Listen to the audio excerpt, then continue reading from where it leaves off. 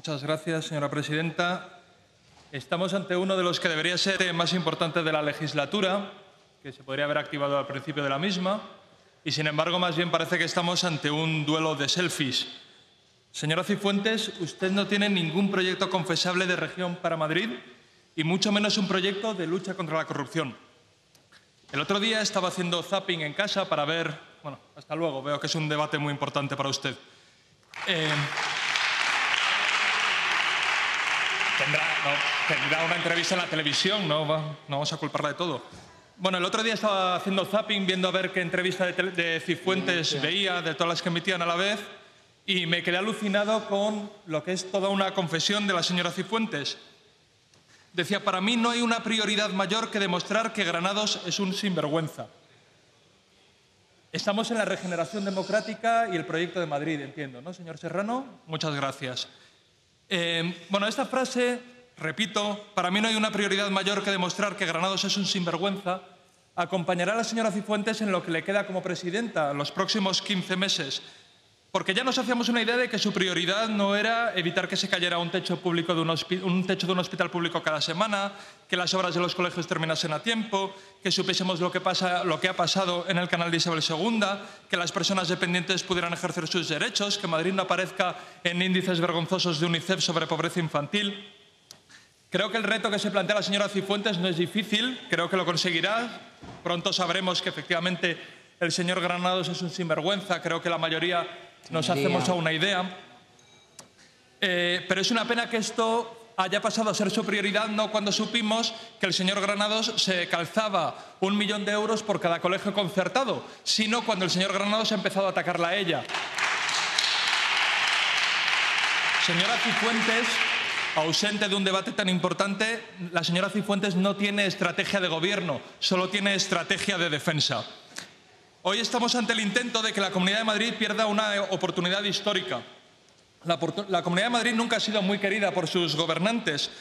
Eh, como no quedaba otra, constituyeron la Comunidad de Madrid, entonces, bueno, lo tuvo que hacer UCD, que era quien gobernaba, eh, bueno, eh, quien empezó la iniciativa, y lo hizo en el furgón de cola porque no quedaba otra, fue casi por descarte, fue una de las últimas comunidades autónomas que se constituyó en el furgón de cola del resto de España.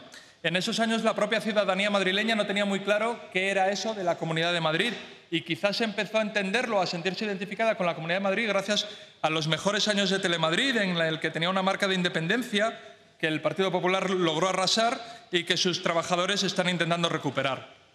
En la década pasada hubo una oleada de modernización de los estatutos de autonomía de toda España y participaron todos los partidos que entonces existían en un sitio o en otro. Era la puesta al día del sistema autonómico y de las comunidades autónomas tres décadas después. Pero mientras el resto de las autonomías se estaban poniendo al día, en la Comunidad de Madrid estábamos justo después del tamallazo, de la mayor humillación que ha sufrido la Comunidad de Madrid en sus 35 años de historia, que por cierto también se cumple un aniversario redondo este año, del 15 aniversario del tamallazo. A muchos de ustedes les, les pilló aquí, a la señora Cifuentes les pilló, le pilló con un pie en la Asamblea de Madrid y otro pie en el sótano del rectorado de la Universidad Complutense junto a Dionisio Ramos, pero en ninguno de los dos sitios se enteraba de nada. A partir de ahí, a partir del tamallazo, empezó el Festival del Partido Popular en la Comunidad de Madrid. En vez de modernizar la comunidad, no dejaron ni las raspas. En vez de blindar la educación, la atacaron a cambio de un botín. En vez de garantizar el carácter público del agua, intentaron privatizar el canal de Isabel II y lo saquearon. En vez de conseguir que Caja Madrid fuera la banca pública que tanto hubiera beneficiado a la ciudadanía madrileña, la convirtieron en la, en la banca del pelotazo urbanístico, en la banca de la corrupción y finalmente la arruinaron. Y así con todo. Sanidad, dependencia, servicios sociales, Telemadrid, metro ligero, carreteras radiales, M45, M30. Cuando teníamos la oportunidad de modernizar Madrid, para que la ciudadanía viviera mejor, ustedes vieron la ocasión de arruinarnos para que viviera eh, mejor una pequeña minoría de sinvergüenzas. Hace 35 años Madrid se quedó en el furgón de cola y la década pasada ni siquiera le dejaron subirse al tren. Si hay alguna evidencia que tenemos en España es que tenemos un modelo territorial que hay que modernizar. Eso creo que es un consenso. Pero no solo el modelo territorial. Necesitamos una profunda regeneración democrática, claro que sí, pero esa hay que tomársela en serio. No ayuda en nada a la regeneración democrática cambiar la ley electoral para obtener lo que no nos dan las urnas.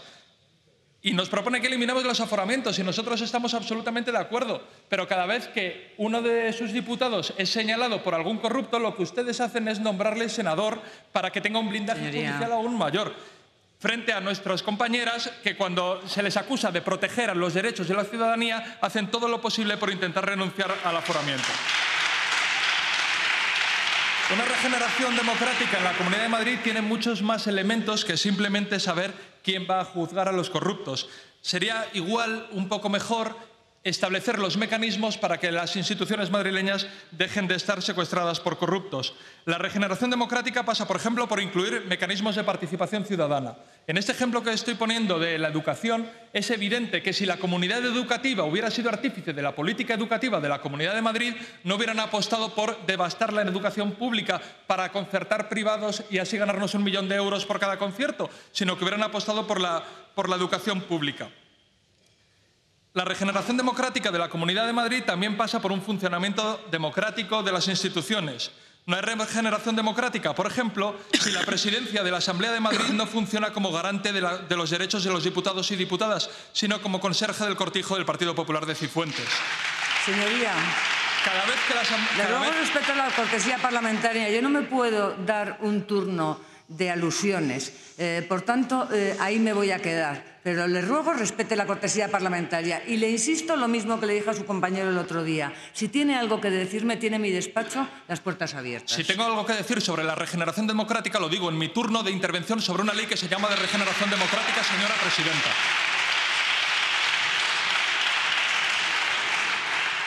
Cada vez que la presidenta de la Comunidad de Madrid es noticia en toda España por silenciar a la oposición, por interrumpir, como ha sido el caso, y lo tenía escrito, fíjense, qué, qué previsibles somos, por interrumpir a los, a los diputados cuando no les gusta lo que decimos, eso eh, es una prueba de que necesitamos una regeneración democrática que pase también por la Asamblea de Madrid. Además de, territorial y democrática, necesitamos una modernización del estatuto para ponernos en la vanguardia de la garantía de los derechos sociales y proteger lo público. En estos años hemos visto la debilidad institucional de la Comunidad de Madrid porque nos ha tocado en 35 años y hemos visto que para parar la privatización del canal de Isabel II o de Telemadrid o de ha tenido que ser la ciudadanía madrileña la que lo impidiera. Eh, cuando no pudimos pararles cuando destrozaron Caja Madrid. La comunidad educativa ha tenido que salir a la calle para proteger los derechos de toda la ciudadanía. Las ayudas a la dependencia no están, pero sí que se las espera, se las espera muchísimo. Y la pobreza infantil está en tasas cada vez más alarmantes. El Estatuto de 1983 se ha mostrado insuficiente para defender a la ciudadanía de sus ataques y necesitamos una, reforma ambiciosa, no estas seis reformas, para actualizar la Comunidad de Madrid. Una reforma ambiciosa que pasaría por un suelo de gasto social, por buscar mecanismos de renta básica, por garantizar la sanidad y la educación pública, un estatuto que, eh, ponga en el centro institucional de la Comunidad de Madrid del siglo XXI al feminismo y la lucha de las mujeres por la igualdad. Un estatuto que garantice nuestro derecho al medio ambiente, que proteja el agua pública, que eh, obliga a las instituciones a afrontar la pobreza energética para que no haya un solo madrileño que tenga que apagar la calefacción en invierno porque no llega a fin de mes. Un estatuto que garantice la, cultura en libertad y que prohíba que un gobierno haga lo que ha hecho este gobierno en arco, eh, censurando obras que le molestan. Necesitamos una reforma ambiciosa que ponga el derecho a una vivienda digna más allá de la mera retórica. Y, en definitiva, necesitamos una reforma que, que haga de Madrid la vanguardia de una democracia avanzada para que los madrileños nunca más vean cómo les arrebatan lo que es lo suyo. Un estatuto de autonomía del siglo XXI defendería a Madrid, a, su- a sus ciudades, a sus pueblos, y no haría de la Comunidad de Madrid el, del gobierno de la Comunidad de Madrid el partido de la oposición al ayuntamiento, sino un garante de que el ayuntamiento de Madrid puede seguir progresando, buscando mayor justicia y modernizándose. Yo entiendo que debe ser duro ver cómo valoran los madrileños en las encuestas el, ay- el ayuntamiento de Madrid mientras se desmorona el castillo de naipe de, de selfies que ha construido la señora Cifuentes. Pero es lo que hay, eso se soluciona haciendo políticas a favor de los madrileños, no poniendo palos en la rueda continuamente. Esta, reforma, esta reforma del estatuto se registró con muchos selfies y después se guardó en un, en, un, en un cajón. Se han olvidado de ella, salvo para mentir. Y lo ha vuelto a hacer el consejero. Se miente cuando se dice que esto se ha bloqueado. Bastaba con activarlo un martes para que se debatiera un jueves. Eso es lo que ha pasado hoy. Entenderán que yo no voy a activar una enmienda de devolución. Si ustedes quieren que se debata la ley, pues la activan ustedes y no hay ningún problema.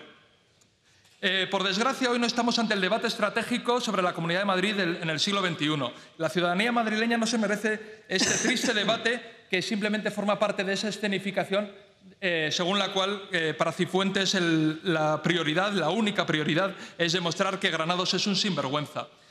No estamos aquí para, remontar la maltrecha imagen de la señora Cifuentes, sino para reformar la Comunidad de Madrid. Proponemos devolver el texto porque ni su contenido ni la forma es la que merece la Comunidad de Madrid. Necesitamos un texto ambicioso que venga del debate con la ciudadanía, de la participación del tejido madrileño, eh, y que finalmente los madrileños la puedan votar como en cualquier otra comunidad autónoma, porque los madrileños no son una ciudadanía de segunda. El texto que presenta el Grupo Socialista nos parece un buen punto de partida. Vamos a, votar a favor de su toma en consideración. Si, si pasa a ponencia, haremos numerosas enmiendas. Pensamos que es un buen texto para ponernos a la altura de esa reforma institucional que hubo en España hace una década y también pensamos que ahora la historia nos coloca en un momento en el que no se trata de ponernos a la altura de hace una década, sino de ser los primeros en liderar la modernización institucional de España. Pero a partir de su texto pensamos que esto se puede, se puede hacer. Hemos intentado que los señores de Ciudadanos huyeran del lado oscuro de la fuerza. Esto parece ser difícil, eh, pero pensamos sinceramente que sus votantes están más a favor de los cambios reales y no de los selfies que les propone la señora Cifuentes. Si quieren apuntalar hoy los selfies, pues creo que es un error y que, no les va a ser rentable, ni siquiera en términos electorales. Pero allá, allá ustedes. Ha dicho el señor Garrido una cosa interesante y es que con lo que está pasando en España no es el momento de hacer ninguna reforma estructural de los estatutos. Y yo pienso que es justamente lo contrario, que una comunidad como la Comunidad de Madrid tiene los mimbres perfectos para ser la locomotora de la modernización de España, entre otras cosas porque no tiene conflictos identitarios y nacionales, por lo tanto nuestra modernización no va a tener esos lastres, no va a tener esos conflictos. Aquí el único conflicto es entre quienes queremos que la ciudadanía madrileña pueda vivir mejor con una comunidad que les cuide y quienes llevan eh, tantos años saqueándola. Además, nosotros tenemos una joya y es que Madrid es una comunidad en la que su identidad consiste en subsumir miles de identidades sin que eso sea en absoluto un conflicto, sino eh, una riqueza. Tenemos los mejores cimientos posibles para liderar desde aquí la puesta al día de España.